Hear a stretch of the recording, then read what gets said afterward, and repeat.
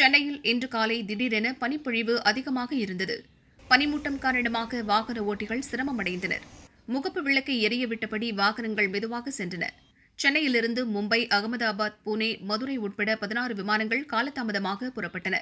அதே நேரத்தில் டெல்லியிலிருந்து சென்னைக்கு வந்த இரண்டு விமானங்கள் கொல்கத்தாவிலிருந்து வந்த விமானம் துபாயிலிருந்து வந்த விமானம் ஆகியவை பெங்களூர் மற்றும் ஹைதராபாத் விமான நிலையங்களுக்கு திருப்பி அனுப்பப்பட்டன.